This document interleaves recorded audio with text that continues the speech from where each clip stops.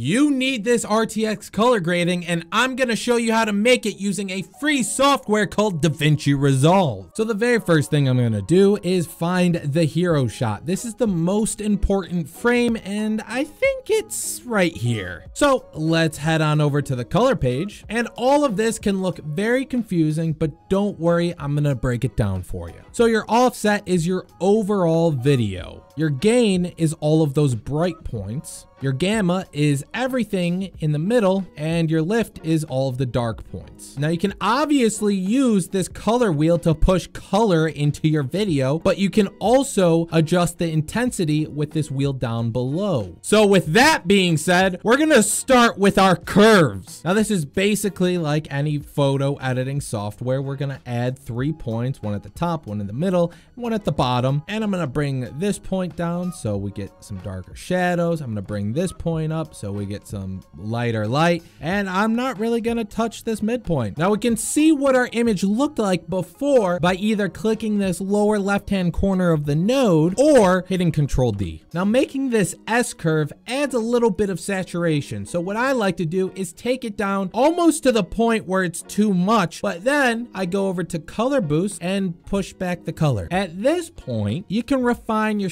shadows and your highlights by adjusting, well, your shadows and your highlights. The idea here is to kind of overexpose the sky a little bit. So we're to bring this up and we want these shadows to be really intense. So we're to bring this down. After some tweaking, this is what we get and it's looking pretty good. So we can move on to the actual color grade. Technically, we could do everything in one node, but that's just going to create a mess. So we're to right click, go down to add node, add serial, and now you can start messing with all these colors. So what I like to do is start with my offset and push in a little lot of bit of blue here to get kind of a cooler tone. But to balance this out, what you need to do is go over to your gamma and I'll push kind of in the opposite direction here. Now, one thing that I like to do is focus on a single area like this wall right here and adjust my colors to make this look good. So before it just had too much blue in it, by pushing in uh, more of this red magenta look, we start to flatten that out. Now this is looking all right, but we've run into a bit of a problem. If I turn off this node, you'll notice our shadows are looking a little blue here. Remember, our lift is all of those dark points, so if we push in just a touch of red, it starts to balance everything out. If I turn this off, hey, our shadows aren't just flickering blue and then black. But now we've run into another problem. By pushing in all of this red, our image has lost that cool tone to it. So with our gain, we're just gonna push in a little bit of blue. This is what we should end up with. Kind of a desaturated high contrast look. It's always good to see the before and after, so highlight both nodes and hit Control D. Whoa, that difference is crazy. Now we're not done yet because we have to really overexpose this sky sky because we're trying to replicate a camera lens. So we're going to right click our second node, go down to add node, but we're not going to add serial. We're going to add parallel. This is because it kind of acts like layers where anything we do here gets affected by this. Now what we can do is open up the effects tab and then drop in glow. Now I only want this to affect the bright parts of the image. So I'm going to turn up this shine threshold and